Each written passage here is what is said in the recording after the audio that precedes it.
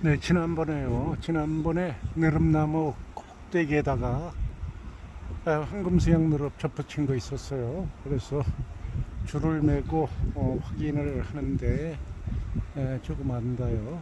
어, 사다리 탔는데도요. 그래서 보니까 지금 에, 싹이 나왔습니다. 에, 싹이 나오고 있어요. 네, 한번 휘어 잡아서 확인까지는 했습니다. 보시면 이제 맹아도 맹아도 많이 나왔고요. 저기 전목비 위, 예, 전목비 위 세 군데 예, 많이 싹이 나오고 있어요. 어, 그래서 요거는 네 군데, 다섯 군데 부- 쳤는데 예, 최소한 지금 네 군데는 확인이 됩니다. 네 군데는. 그리고 저거 어, 지금 크게 입 나온 게 아마도 전목 부위 약간 미니까 어, 저것도 황금수양 느릅이겠습니다. 황금수양 느릅이든가 에, 그냥 어, 수양 느릅 어, 이럴 수도 있고요.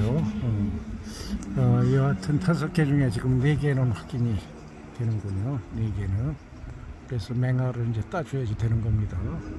전목 부위 아래는 다 따주면 되는 거예요. 예, 보일까요? 예, 지금 예, 싹이 나오고 있습니다. 예, 싹이 나오고 있고 옆에 것도 보시면 어, 맹아 크게 된 위에 전목비인데 예, 싹이 나왔어요.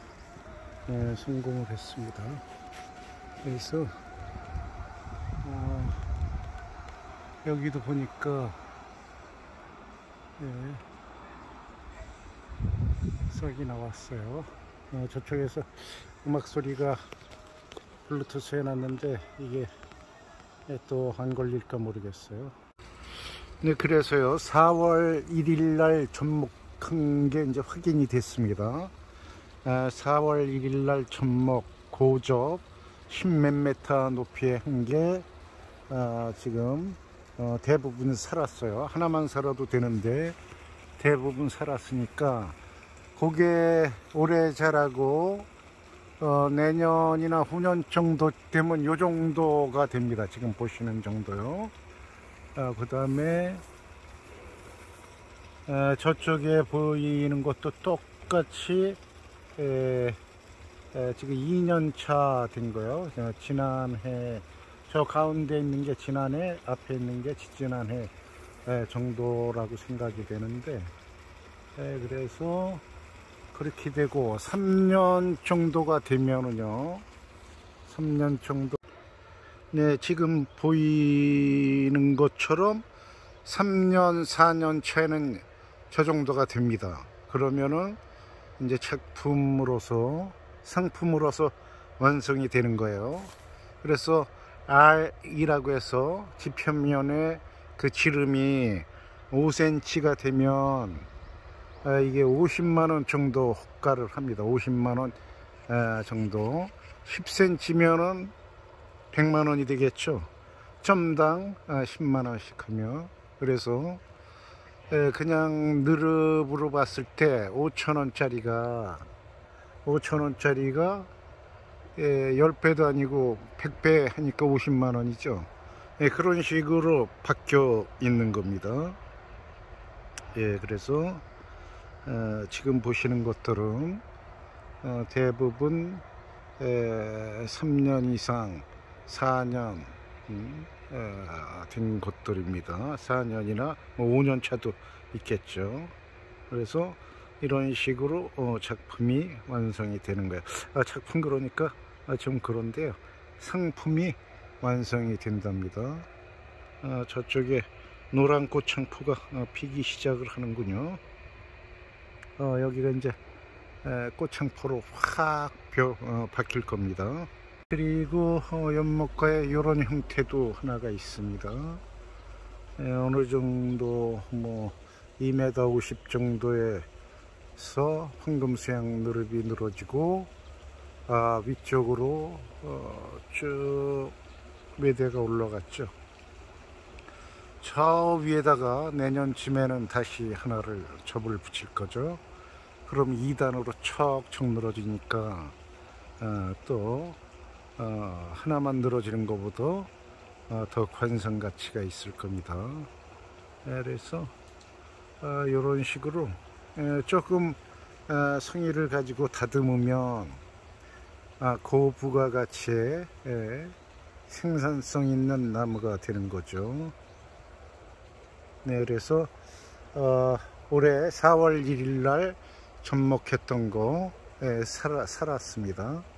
아, 그래서 음, 내년이나 후년 되면 어, 점점 더 형태를 갖추겠죠. 네, 여러분 감사합니다. 예, 또 다른 영, 영상으로 어, 찾아뵙겠습니다. 어, 한 말씀을 더 드리면 아, 옆에 작은 형태 황금 수양 느릅이 있는데 아, 요런 거 말고도요. 요런 거 말고도 수양 느릅이 아니고 그냥 황금 느릅도 있습니다. 황금 느릅. 아, 요런 게 독립수로 또 커질, 커지면은 그 나름대로의 예, 관상 가치가 있죠. 예, 그래서 어, 이렇게 예, 어, 위로만 자라는 아, 느릅, 황금 느릅나무도 있습니다. 아, 요거는 황금 지통나무네요. 황금 지통나무 삽목해서 독립수로 이렇게 예, 커졌어요. 네, 이거는 하우스 바로 앞에 있는 아, 황금 수양 느릅인데요. 에, 올해는 황금 수양 느릅이 한쪽에는 에, 변이가 생겨가지고 변종이 생겨가지고 일반 수양 느릅이 지금 나오고 있어요. 이런 식으로 색상이 노랗지가 않습니다. 위에는 노란 게 있고요. 그래서 이런 거를 잘라 가지고 접목을 하면 일반 수양 느릅이 또 되는 거예요 네, 그래서 이렇게 하다 보면 어, 몇 년에 한 번씩 어, 그 변종이 나오는 경우가 있습니다 네, 그거를 접목을 하면 그 변종의 새로운 개체를 얻게 되는 거죠 네, 그래서 예, 품종 어, 갱신이 되는 겁니다. 개량이 되는 거죠. 어, 새로운 것을 얻게 되는 거예요. 어, 이런 경우가 예, 상당히 많이 있습니다.